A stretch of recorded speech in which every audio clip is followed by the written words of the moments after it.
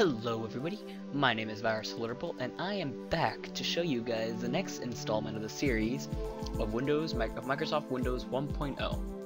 This is the alpha and beta builds.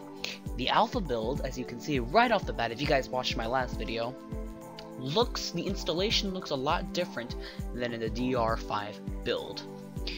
Alpha, this alpha release was very similar to DR5, there's really not much, except these little tiny tweaks, as you guys can see if I move my mouse up, you guys can see that little arrow pointing up. And with a couple of things here and there, as you can see, we have no we have no little manager here. Uh, we still have the bunch of files as usual. Everything relatively looks much the same. Nothing's really changed. As you can see, we don't start up with a bunch with um, we don't start up with four processes anymore where it had the clipboard there. Um, Alpha was shipped to testers in January 1985. It was designed for IBM Compaq computers running DOS and I or IBM DOS with graphical dis uh, display adapters, CGA and Hercules. I am using Hercules. Um, a floppy disk drive and a hard disk drive. This, like I said, there's nothing very similar, except the only things is little minor tweaks, as you guys can see. Um, the little arrow pointing up when you mouse up on the little up there, little bar, and also that it's that the installation looks a little bit uh, different, very different. The only real difference in um, Alpha is that this was the last this is the last build that actually included source code of sample applications. And another and one and another little thing that's different that there's an Easter egg over here in one in the source code in fonttest.c. And I'll be putting up a little um, pop-up right now because there's really not much to see in Windows Alpha. It's just a little bit. It's still very buggy. By all means, it's very buggy. However, it's it also includes it's very rough. It's it's really it's basically incomplete. It's what you expect out of a build operating system. This version also required to be run only on DOS X and or DOS 3.0. And it and the thing is, it also it, it performs an internal check before it confirms the version. So it's really not much to say about this about this build of the OS. Um, you can see the, the interface looks the same, very same. Gives you the amount of space free on the hard drive. And you guys can just see like it just very much looks the same. There's no new applications. All the applications look new, and if and it's just basically all the programs that it installed. There's Cube. And now I'm going to have to wrap up alpha and we're going to transition right into beta. So this is the ending screen and then it takes you right to the DOS prompt. Now, let's take a look at Windows 1.0 beta build. Let's transition and check it out. This is Windows 1.0 beta setup screen. This looks completely different from DR5 and alpha. Now, the reason it looks a little bit more different is just to make it look a little bit more professional. Microsoft, this was, uh, Microsoft shipped this out to testers on May 1985. It was the same, pretty much, it needed the same parameters as Alpha, and pretty much. And this uses an RTM style like installer. As you can see, it requires three disks, your utilities disk, your setup disk, and your desktop applications disk. And it gives you options on what video card you're choosing. Now, now what's very interesting about this, this is the first 1.0 build to introduce color. This version of, of 1.0 actually produces color.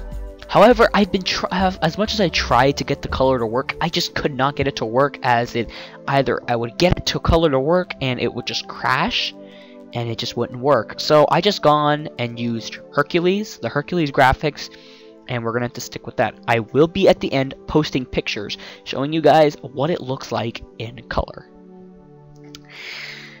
beta is a bit more stabler. It does add a lot more things to it. It's um, for the requirements, you need to run it under again DOS 2x or 3x. So you can put multiple versions of 3x. However, 3x, as I stated in my last video, it's really rare. And as we boot up into Windows 1.0, as you can see, it does not have a bunch of files there. It looks much cleaner. And they've added a feature where you could actually close, where you have an option to close, minimize, resize it, resize the window. And it's added a couple things. It's added a calendar here. It's really cool, isn't it? They've added a calendar. They've also added something called Cardfile. As you can see, we can close it. It's pretty cool and calculator looks significantly different. So you guys can see it looks way different. It looks one of the more like one of those algebra calculators that you would probably use. So this is one of the more major kind of builds. This is one of the more builds that really, really looks very different from DR5 and Alpha, and it's a bit more, and it feels a little bit more stabler to an all as an all-around operating system. It feels like this build is a little bit more stabler. It also comes with an addition of paint. Now, I'm pretty sure this is the reason why they started to put color, because they knew that they're like, might as well put in paint to see what's what's the reaction going to come out of this. It's really cool. Uh, a little bit more information about this operating system. You can run it under DOS 5x and 6x, but you would have to add a specific file for it to run. As you can see, it can save the files. You can save your little paint, but I just chose not to. We also have Notepad. Um, Notepad in the DR5 in the DR5 crashed the computer, and in Alpha, it will not let me type. However, here you can type. As you can see, we can click. We have to hold down, which is a little awkward. We can save the file as, and I save it as world. Put a little hello world there. As you can see, close it it's very interesting to see these kind of this kind of stuff happen. As you can see, it saved it to the hard drive as world.txt. We have our standalone Reversi, and the little bit about Reversi is that instead of it flashing a little banner at you saying that it's an illegal move, it shows a dialog box, which I feel is kind of a little setback. I would have expected this kind of in the DR5 because I think it's a little bit more easier to keep the game keep to make the game go, keep going. Anyways, that's Reversi. And it just looks not cluttered. You just don't see everything. And then here we got Puzzle. Nothing's changed much about Puzzle. And um, I will be adding some pictures at the end of the video to show you guys what it looks like with color. So that'd be pretty interesting to see. As you can see, it's pretty much all it. And as we open world.txt, you guys can see that it did save it. Uh, terribly sorry you guys for not adding color to this. I could not, I just could not get the virtual machine to do it. I tried a lot of these things and uh, they just ended up crashing, or they would, or they would just stay at the welcome screen and it just wouldn't work. And there's a new thing called Cardfile. I don't know what this would be, but you know, there it is. Close. It says okay to save changes, so a little bit more. They've added a little bit more icons. So uh, that's gonna wrap it up for Windows 1.0 beta edition, we are going to close this operating system off, and it does add a little bit more in your session. Alrighty guys, I'm going to have to wrap this up. Please rate, comment, subscribe. If you guys want more, just do what I just said. Rate, comment, and subscribe. Alrighty guys, thanks. Virusalertable, signing off.